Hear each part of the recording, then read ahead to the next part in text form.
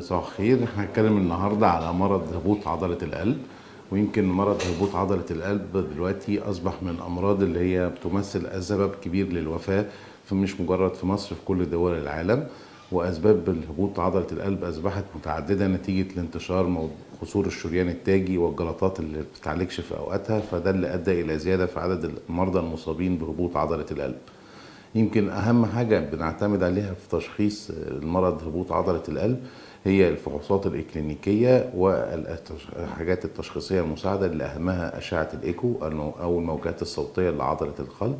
ودي اللي بناء عليها بنحدد الكفاءة بتاعت عضلة القلب وبيتم تشخيص هبوط عضلة القلب عن طريق أشعة الإيكو.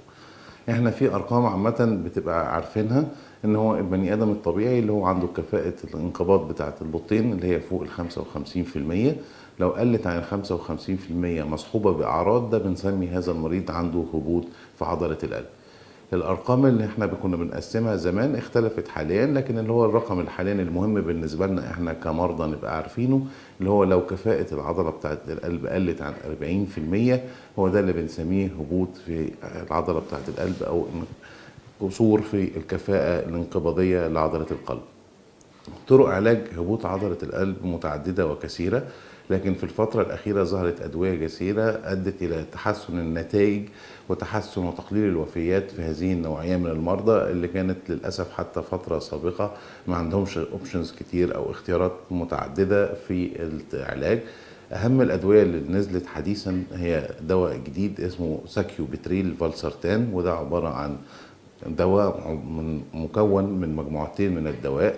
والدواء ده أدى إلى نتائج مذهلة في تحسن الكفاءة بتاعه العضلة بتاعه القلب وتقليل الوفيات وتقليل دخول المستشفى اللي هو يمثل العبء الرئيسي أو السبب الرئيسي لل...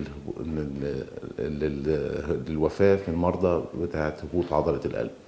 في مجموعات أخرى من الأدوية اللي إحنا بنسميها البيتا بلوكر ودولت وظيفتهم كثيرة إن هي بتقلل ضربات القلب في الدقيقة فبالتالي بتدي فرصة للعضلة بتاعة القلب إن هي تستفيد بكل الأكسجين وكل الدم اللي واصل لها وبيقلل الحمل على العضلة بتاعة القلب. وطبعا أهم حاجات في علاج الهبوط عضلة القلب إن إحنا ما ننساش إن إحنا نعالج السبب. يعني لو المريض عنده قصور في الشريان التاجي لابد أن إحنا نعالج هذا القصور في الشريان من باب تحسين الكفاءة بتاعه عضلة القلب. لو المريض عنده مشكلة في صمامات القلب لابد أن إحنا نعالج هذه المشكلة سواء بتدخلات جراحية أو تدخلات حاليا بالقسطره زي المرضى الكبار السن اللي عندهم ضيق في الصمام الأورطي دلوقتي بقى عندهم احتمالية إن هم يعملوا توسيع للصمام الأورطي عن طريق القسطره خاصة لو المريض الجراحة التدخلية تمثل عليه خطورة عالية. لو واحد عنده مشكلة آه، آه، أي مشكلة أخرى تمثل عبء على العضلة بتاعة القلب لابد أن نعالج هذه المشكلة من باب أن إحنا نحسن كل الطرق المتاحة لهذا. أهم حاجة برضو أن إحنا ما ننساش أن في حاجات مكملة للعلاج بتفيد جدا في أن إحنا نحسن الأعراض يعني إحنا لو عندنا مريض إحنا قاعدين نديله في أدوية لتحسين العضلة ولتقليل الأكسجين لتقليل العبء على عضلة القلب ما يبقاش المريض قاعد ياخد غذاء غير صحي يعني الإكثار من الأملاح. حاجات اللي فيها ملح كتير زي المخللات والشيبسي والكانز والحاجات اللي فيها نسبة أملاح عالية دي بتؤدي إلى تدهور في حالة المريض بتاع هبوط عضلة القلب مهما كان بياخد من أدوياته بانتظام.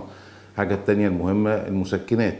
مجموعة المسكنات اللي بتستخدم عمال على بطال عندنا زي مجموعة ال- اللي بنسميهم نون ستيرويدال دولت مهمين جدا إن هو ما ينفعش مريض هبوط القلب هبوط عضلة القلب إن هو ياخدهم. لأن دولت بيزودوا في احتباس البول واحتباس الأملاح في الجسم وبالتالي بيؤدوا إلى تدهور في حالة المريض الصحي. بعض أدوية السكر التي كانت تستخدم سابقا ده للأسف هي الحمد لله يعني مش موجودة حاليا بس في بعض مجموعات من أدوية السكر ما ينفعش إن هي مريض هبوط عضلة القلب ياخد فبالتالي إن هو أي مريض عنده هبوط عضلة القلب لابد إن إحنا نستشير المريض طبيب السكر بتاعنا قبل ما نكتب له أي دواء لتنظيم السكر. وحاجة أخرانية مهمة بننصح بيها دايما اللي هو المريض هبوط عضلة القلب اللي هو الرياضة. دلوقتي في كورسات حاجة اسمها ريهابيليتيشن لمريض هبوط عضلة القلب والرياضة ماشية بفترات معينة وتمارين معينة دي بتحسن من كفاءة العضلة بتاعة القلب وبالتالي بتقلل دخول المستشفى وبتقلل الوفاة في مرضى هبوط عضلة القلب. وشكرا لكم.